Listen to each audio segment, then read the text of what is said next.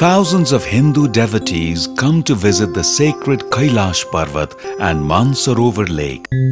Situated in the China's autonomous region of Tibet from across the globe, especially neighboring country India via Nepal.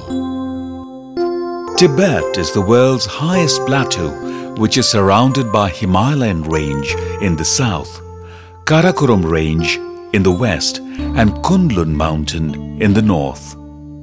It has so many high mountains and it is also the source place of many rivers like Brahmaputra, Satluj, Indus and Karnali. Most of the pilgrims travel to China's autonomous region Tibet via Nepal's route because it is the shortest and easiest.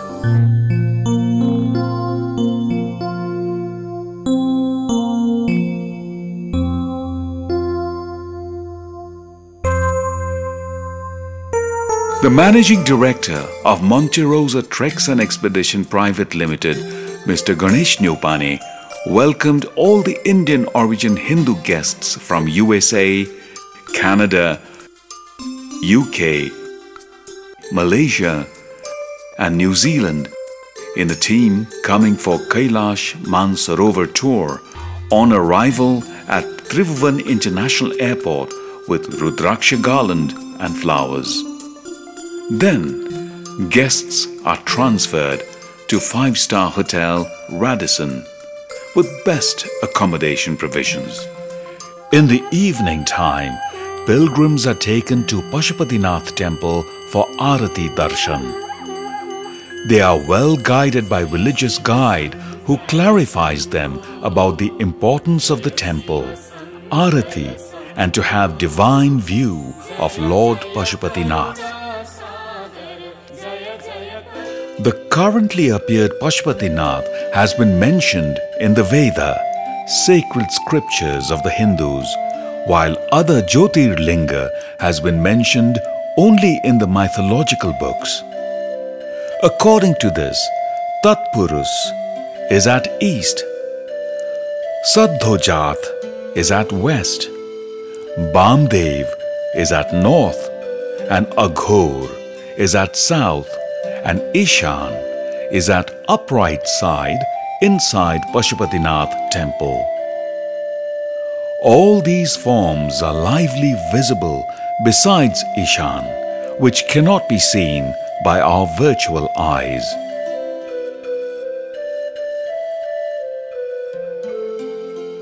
Next day, early in the morning, Kailash pilgrims are taken to Pashupatinath for Rudra consecration called Rudravishek.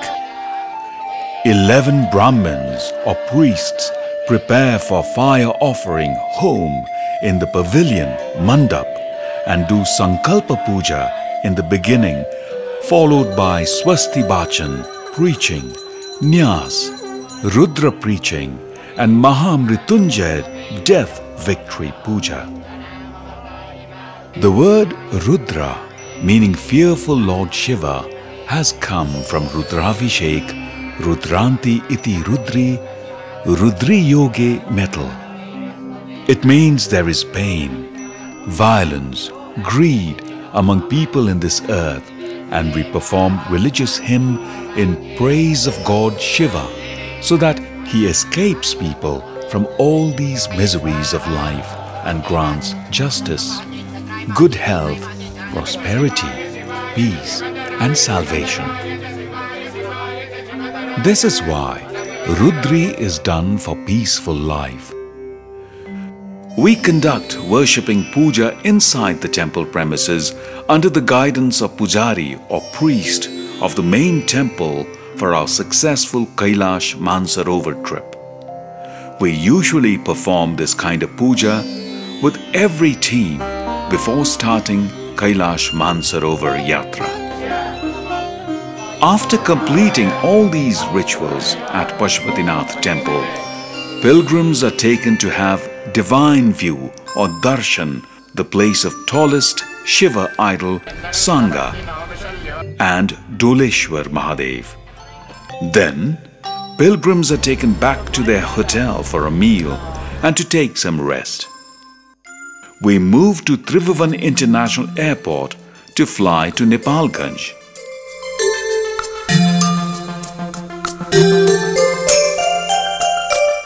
From Kathmandu, it is one hour flight to reach Nepalganj. Then they are taken to hotel for dinner and night stay.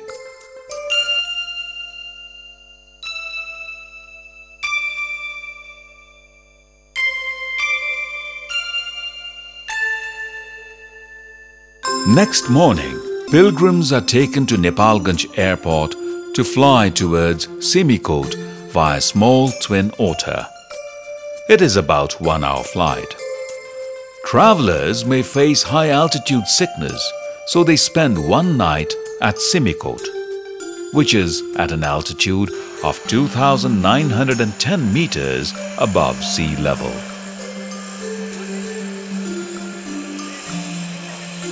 There are fine lodges and hotels for yatri or tourists. Next morning, after having breakfast, we move to the airport and fly in a helicopter for 25 minutes to reach Hilsa Bazaar. We can observe beautiful naked hills, slopes, steeps and Karnali River.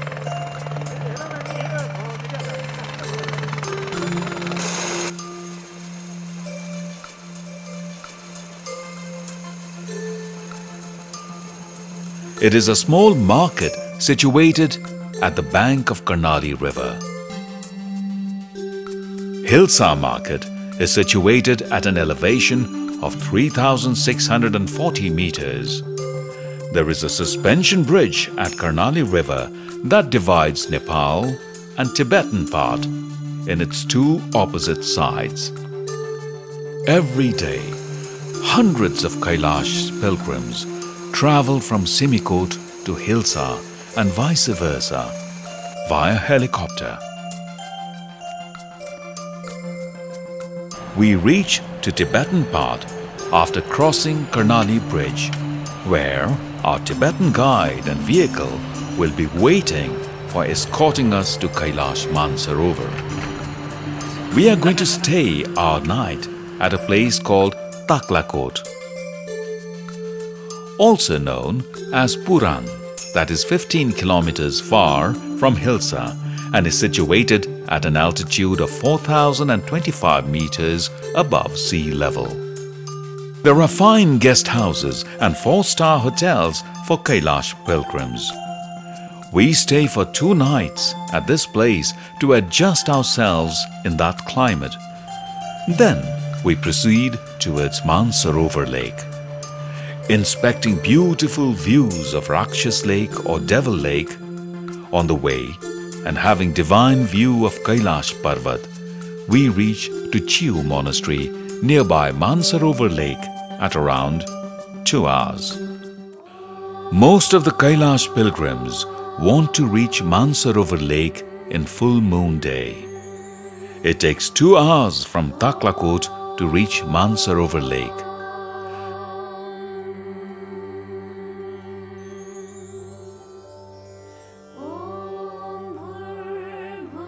The lake is very beautiful. We cannot identify the other part of the lake by our bare eyes. Ducks are playing and swimming in the edge of the lake. Mansarovar Lake, also known as Brahma's Lake or Mapam Yumtso Lake, is situated at an elevation of 4,850 meters above sea level. The word manas means mind or consciousness and sarovar means lake. It has held deep spiritual influence and wide religious implications among Hindus and Buddhists. Making round of the lake and taking a dip in it is believed to purge one's soul from sins and the body from sickness. This lake is so gigantic that it takes three full days to just go around its peripheries. Ancient Hindu scriptures indicate this lake as a must visit place for someone who wants to attain salvation, the highest level of achievement in Hindu religion. The cascading waves of the lake in the wind look very charming. As described in Ramayana, it is said that the person who moves around the Mansarovar lake and bathes with its pure water reaches the heaven directly after death. Similarly, it is written that the person who drinks the water of this lake recognizes the Shiva Lok, the palace of Lord Shiva. Kailash Parvat is situated about 58 kilometers far in the north from Mansarovar Lake.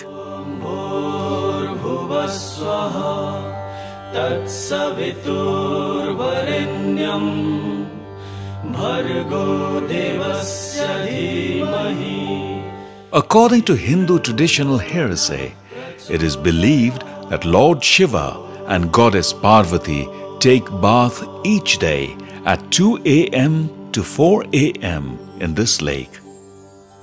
It is said that pilgrims who stay at this place at night, they can lively watch the god there. Mainly it is believed that people can see or visit the god Shiva and goddess Parvati at the night of full moon. This Mansarovar lake covers a very large area that is pure place. It is mentioned in Hindu religious books that all the Hindus must reach there at least once in their lifetime. Next day, in the morning, pilgrims are going to Mansarovar Lake riding on the bus or walking from the guest house or mud houses. Pilgrims are seen taking holy dip into the lake, offering water, flowers, money to the god and splashing water among each other with much joy and enthusiasm. All the pilgrims are seen meditating for Lord Shiva and reciting the names of their ancestral gods, performing homes, offering grains mixed with butter to the fire in the name of gods, in order to relieve themselves from any kind of sins which they might have committed knowingly or unknowingly. As the weather is clear today, pilgrims are able to gaze upon the beautiful Mansarovar lake and Kailash Parvat comfortably. After bathing at Mansarovar lake, we return back to hotel riding on bus. Pilgrims now are heading towards Darchen and we stop for a while in front of Chiu Monastery and observe Kailash Parvat, Mansarovar and Rakshas Lake. Rakshas Tal, Monster Lake. This lake is named on the basis of Hindu traditional story. Hindu people believe that carnivorous monsters are hiding into the dark water. On the basis of this belief, people call it Rakshastal and stay away from this lake, believing it as the symbol of dark and destructive power. According to traditional religious story, the water of this lake is poisonous and fatal. So, to replace the poisonous water of this lake, a tunnel was made from Mansarovar Lake. The pure water of this lake and a golden fish was sent in this lake. Late, this fish was found alive. From it, people's negative attitude towards the lake changed and they started to go nearer to it, but they still don't drink the water. According to Hindu mythology, in Treta Yuga, the monster Ravana has made Lord Shiva happy meditating in this lake. Rakshas Lake lies in the west to Mansarovar Lake. It is situated at an altitude of 4,540 meters above the sea level. In Mansarovar Lake, there are many birds, including ducks. But in Rakshas Lake, there are no any birds at all. Now we are going towards Darchen. Darchen is also known as the Golden City located at the base of Kailash Parvat. When we reach at Darchen, we directly entered into the four-star Hotel Kailash Himalaya. We get off the coach and move towards the room and rest for some time.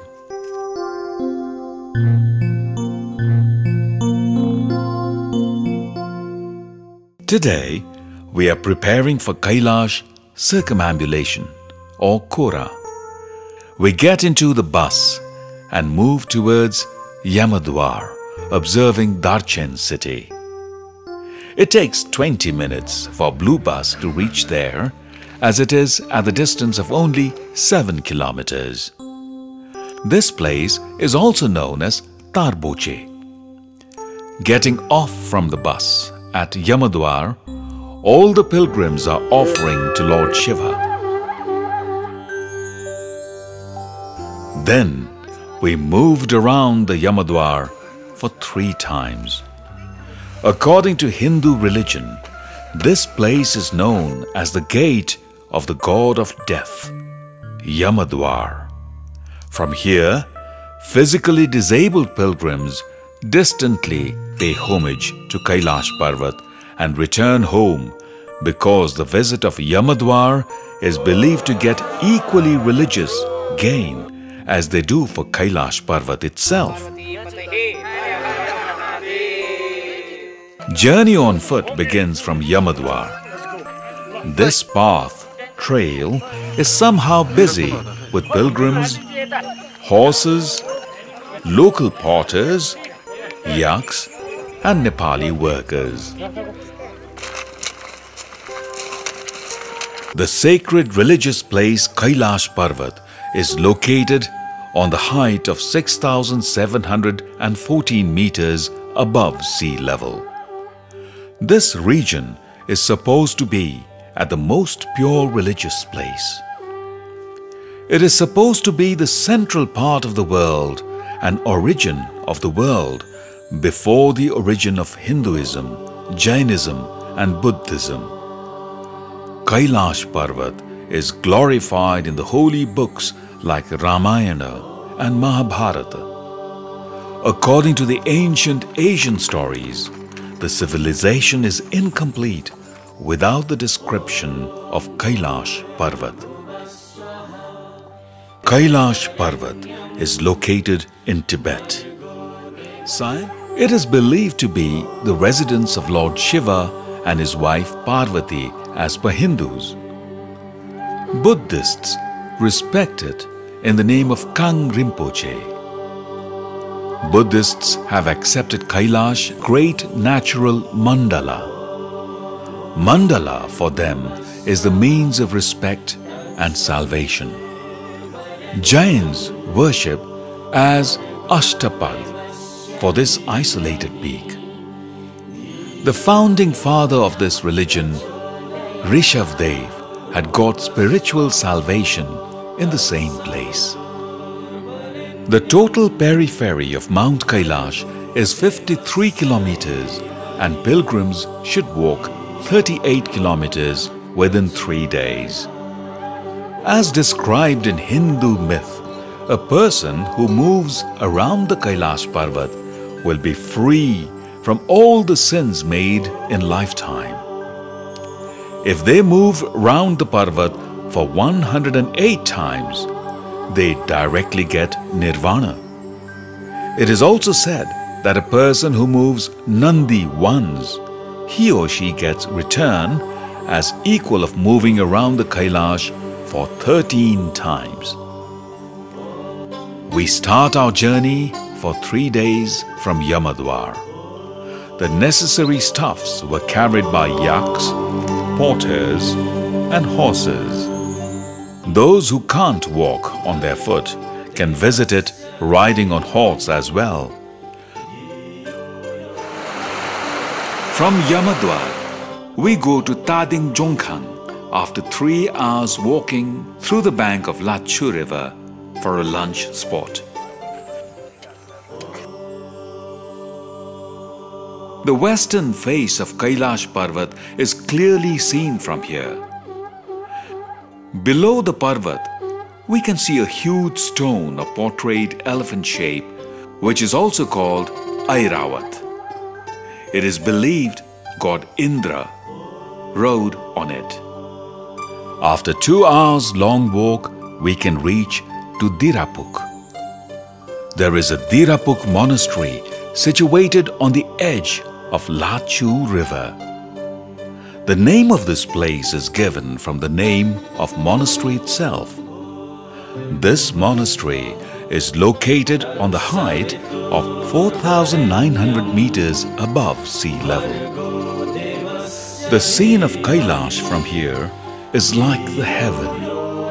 Hundreds of pilgrims arrive at Dirapuk from Yamadwar riding on the horse or on their foot. Kailash Parvat is regarded as the form of Lord Shiva and the water flowing from its snowy tip is worshipped as holy river Ganges or Ganga. Walking for about three hours steep upward, we can reach at the bottom of this holy mountain. This is called Kailash Touch Tour. It means religiously touching the feet of Lord Shiva. Shisha Pangma Guest House is on the one side of Dirapuk, which is by the side of the river Lachu flowing from Tibet, whereas Dirapuk Monastery is at another side. Mount Kailash can be observed more beautifully from the side of this monastery. Observing from Dirapuk, Mount Kailash is seen in between Mount Manjushri at the right side and Mount Bajrapani on the left side. River Ganges originated from Mount Kailash meets Lachu River and gets mixed into Rakshas Lake. Today, we have to go for Dolmala Pass, 5,636 meters and the weather is also suitable. So, after breakfast, we move towards Dolmala Pass. After one and a half hour walking from Dirapuk, we arrived at Shivasthal. The normal route for Kailash circumambulation is through Ganesh Kunda, Dolmala and Gauri Kunda.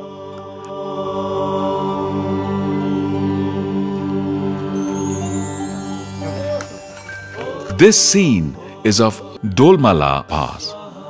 This is on the height of 5,636 meters from the sea level. This is the tallest and most exciting place of our journey. People can worship here. Our pilgrims are busy in capturing photographs.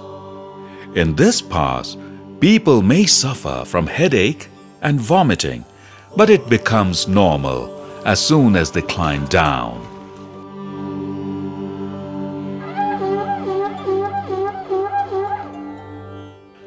After walking down for 10 minutes, we can see Gauri Kunda.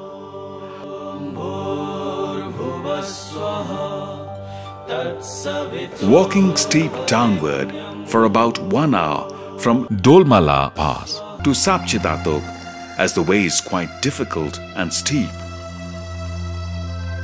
There are three tiny tea shops at Sapchidatok where we relax with a sip of tea and also drink water.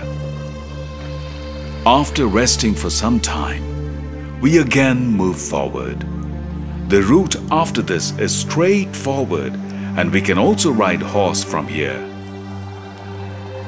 Three hours of walking takes us to Juthulpuk, that is known as the least facilitated place of this journey. This is the second day of our circumambulation. On the next day, we begin to move early in the morning after having our breakfast.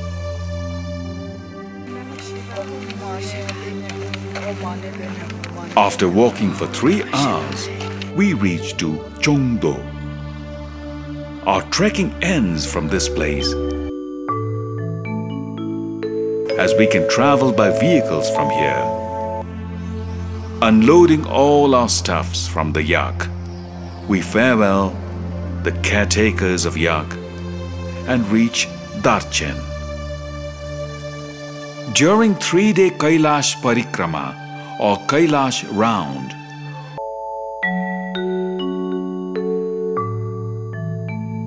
one can see four faces of Kailash Parvat which are south face, west face, north face and east face.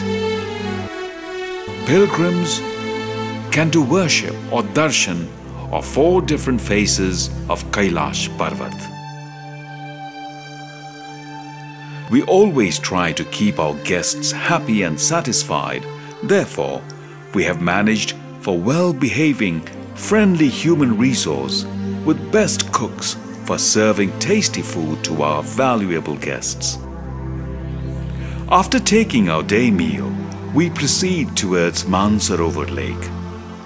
Pilgrims fetch sacred water of Mansarovar and move forward. We follow the same way. We stop at Taklakot or Hilsa for a night stay. From Hilsa, 25 minutes helicopter flight takes us to Simikot, from where we get into a twin otter and fly for one hour to reach Nepalganj.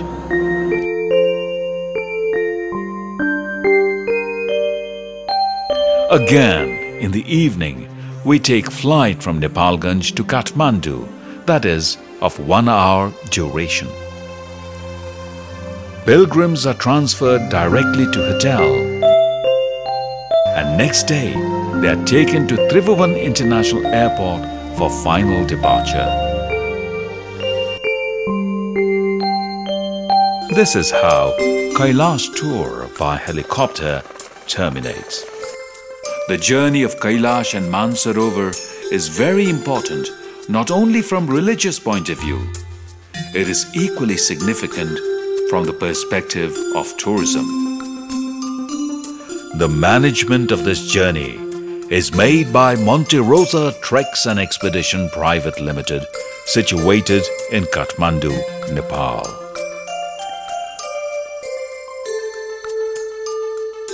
We are waiting for you to join us for such an exciting and unforgettable trip. Atithi Devo Bhava. Guest is God.